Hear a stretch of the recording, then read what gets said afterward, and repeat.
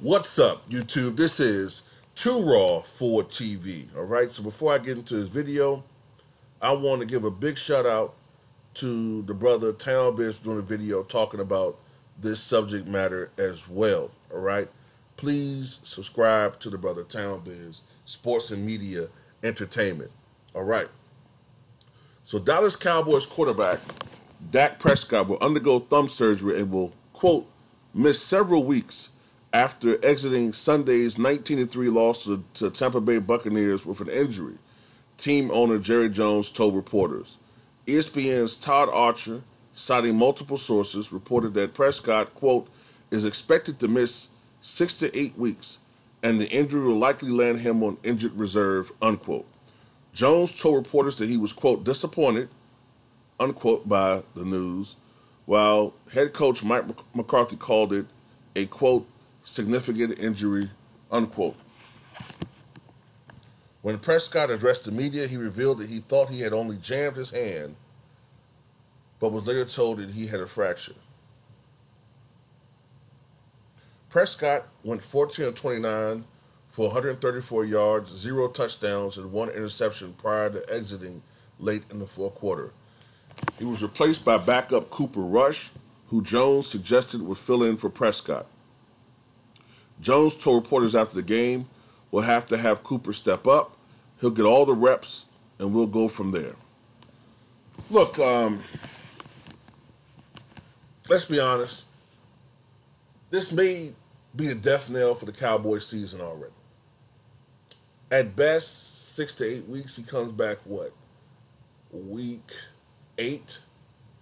At worst, he comes back week 10. Um, that's a lot of losses.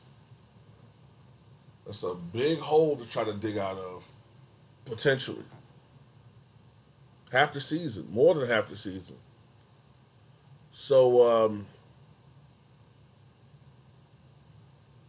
this could be the death knell for the season already for the Dallas Cowboys. And look, I've been one of the biggest pricers when it comes to the Dallas Cowboys, laughing at them for losing.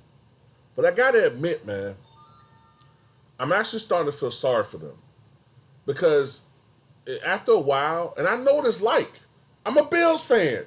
After a while, it becomes sad. It's like it's even worse with them because they get all of this attention. They get all of this attention every day from the sports media. And yet they can't fucking win. They, they can't even get to a conference game. They show no legitimacy for all this attention. And meanwhile, as the years go on and on, other franchises are catching up with the Cowboys. The Pittsburgh Steelers have surpassed them, if I'm not mistaken, in Super Bowls. Other franchises are, have caught and passed them. In the last uh, 20 years, the New England Patriots caught, reached, and surpassed them. And you're going to start seeing more and more of that as the years go on. I really think that somebody, some divine uh, presence has never forgiven, has never forgiven Jerry Jones for firing Jimmy Johnson. Now he won that last one with Barry Switzer. That was just some hangover effect shit, you know. But when it comes to Dak Prescott, look, you got the money you wanted. A lot of people did not see you as this elite quarterback. They didn't see you on the same level as, you know, Tom Brady and uh, Drew Brees and Aaron Rodgers and Prime, Russell Wilson. They didn't see you on that level. And, you know, I get, I get it, injuries aren't people's faults, but availability means a lot. A lot. Okay? And over the last couple years, look, he fractured his ankle back in 2020, missing all but five games. Uh, last year he played in 16 of the 17 games, but he had a shoulder and calf ailment throughout the season. Now it's this. Plus he got hurt in practice on Thursday, hurting his ankle. So he's he's turning out to be an injury prone, underperforming, um, unclutched guy. I mean, it's just how you would perceive him right now.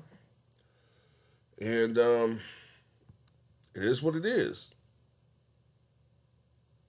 Cowboys suck, man. Just suck.